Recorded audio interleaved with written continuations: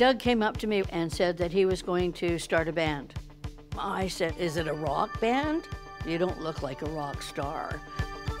More uh, carny than sex symbol. You wouldn't be like, oh my God, I'm buying this record of this middle aged man gutting fish. I saw Doug and I was like, Oh, that doesn't fit. But I was just so compelled. You can't play guitar. It's not much of a singer, but they're great songs. Good luck. Would you please welcome from Vancouver, Doug and the Slug? Played me tracks. This sounds good. This sounds really good. The rhythm is infectious. I was like, what kind of music is this? Changing styles and genres. Cultness as well as the everymanness.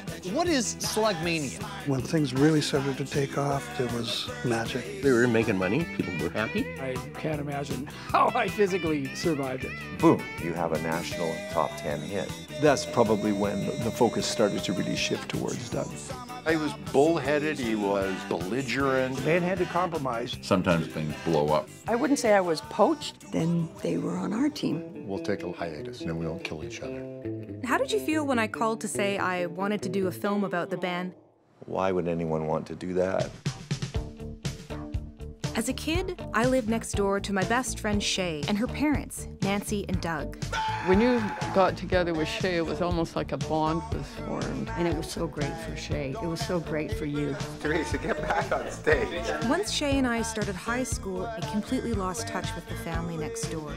And I still don't know what happened.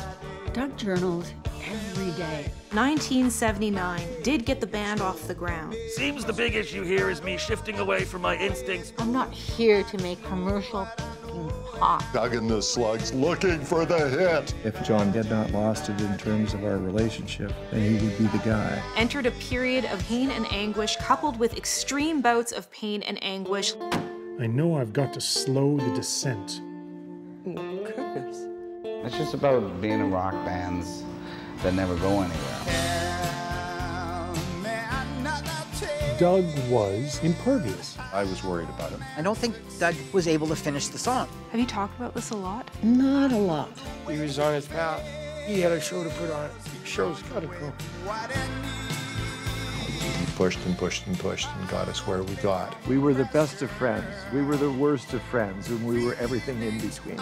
After 20 years, I decided to give Shea a call. I realize this is becoming a story about people who love each other growing apart. Doug and the Slugs. Doug and the Slugs, ladies and gentlemen.